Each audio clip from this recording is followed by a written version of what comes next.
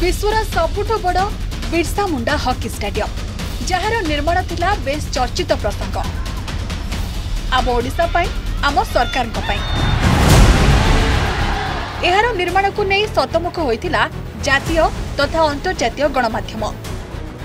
National ଜୋଗ୍ରାଫିକ୍ ଚ୍ୟାନେଲରେ super ଷ୍ଟ୍ରକ୍ଚର୍ସ ନାମରେ ଏହାର ନିର୍ମାଣର ତ୍ୱରିତ ଗତିକୁ ଦେଖିଥିଲା ବିଶ୍ୱ।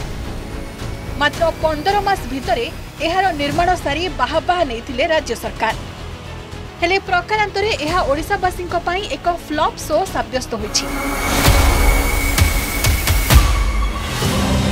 ପ୍ରଥମ ଦଫାରେ ଏହି ଷ୍ଟାଡିୟମ ପାଇଁ ବିଶ୍ୱ ରେକର୍ଡ ହାତେଇ ନେଲେ ସରକାର। ଚ୍ୟାଲେଞ୍ଜ ସମୟରେ ଷ୍ଟାଡିୟମ ନିର୍ମାଣ ପରେ ଗିନିଜ୍ ବୁକ୍ ଅଫ୍ ୱାର୍ଲଡ ରେକର୍ଡରେ ସାମିଲ ହୁଏ ପ୍ରକଳ୍ପ। କିନ୍ତୁ ଅନେକ ସୁନାମରେ ପୋତି ହୋଇପଡ଼ିବା ପରେ ଦ୍ୱିତୀୟ ଦଫାରେ ଦୁର୍ନୀତି ଦୁର୍ନାମ ଆଉ ଅଧିକାରୀଙ୍କ ଦୁଷ୍କୃତ୍ୟର ପର୍ଦ୍ଦାଫାଶ ହୁଏ। ନିର୍ମାଣର ମାତ୍ର ପାଞ୍ଚ ମାସ ପରେ ଟନ୍ ଟନ୍ ଲୁହାରେ ଠିଆ ହୋଇଥିବା ଚାଳିଶ ଫୁଟର ପ୍ରତିମୂର୍ତ୍ତି ଧରାଶାୟୀ ହୁଏ। ବିଶ୍ୱସ୍ତରୀୟ ହକି ଷ୍ଟାଡିୟମ ନାଁରେ ରାଜ୍ୟବାସୀଙ୍କୁ ଲଲିପପ୍ ଦେଇଥିବା ରାଜ୍ୟ ସରକାର ଧରାପଡ଼ିଯାଆନ୍ତି। ଖାଲି ମୂର୍ତ୍ତି ଭାଙ୍ଗିଲା ତାହା ନୁହେଁ। ପରେ ପରେ ପିଲର ଭୁଷୁଡ଼ିଲା ଅସରାଏ ବର୍ଷାରେ ଛାତରୁ ପାଣି ଗଳିଲା।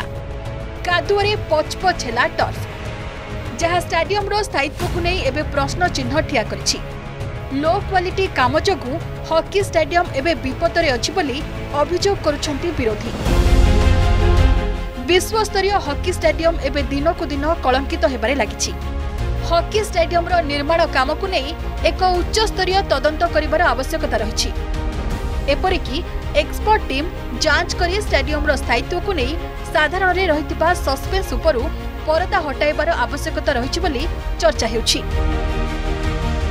रिपोर्ट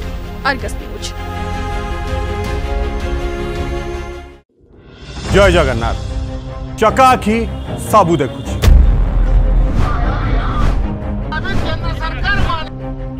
आमे लड़ू साधारण ओडिया लड़ी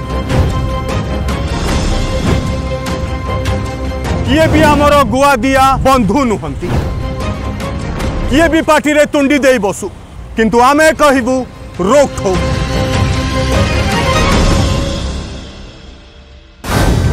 ମନରେ କୋହ ଓ କ୍ରୋଧ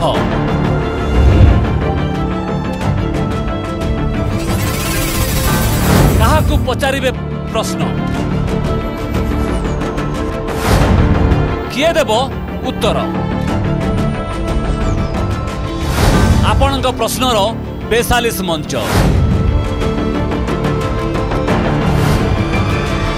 ପ୍ରଶ୍ନକାଳ ସୋମବାରରୁ ଶୁକ୍ରବାର ରାତି ଆଠଟା ତିରିଶ।